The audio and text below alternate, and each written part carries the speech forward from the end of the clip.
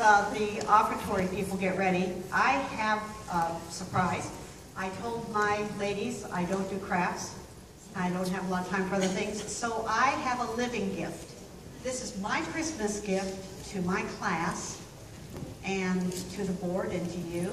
They are a young family of young people here, here, that my husband and I have uh, worked in ministry with in the past. They were gracious enough to come today. They're missing one. Miss Joelle is sick at home, but all the rest are here. Yes. Jebby, Rachel, Rebecca, Lillian, I'm going to do Lillian, Rebecca. Yes, no? And then I've got, he has grown so much in just a few weeks. Josiah, Josiah, yeah, I got it.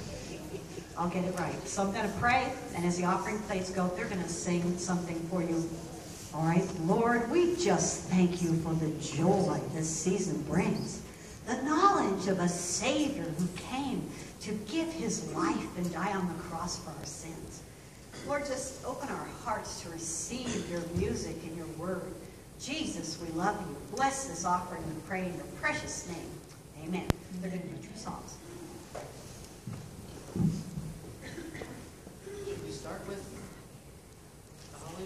starts at.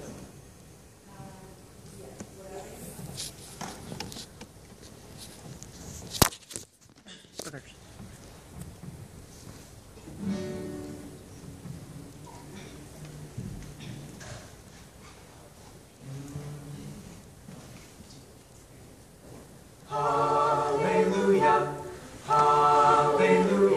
hallelujah, hallelujah, hallelujah.